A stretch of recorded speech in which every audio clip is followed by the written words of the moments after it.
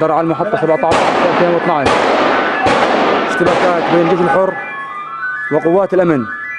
قوات الأمن تحاول اقتحام مدينة درعا والجيش الحر يرد عليها ويتحرك خارج المدينة. الله أكبر الله أكبر.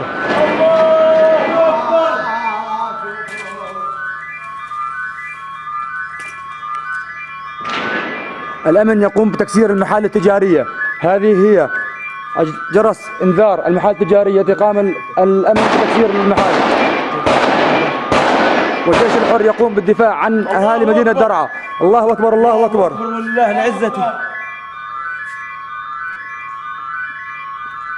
الله أكبر.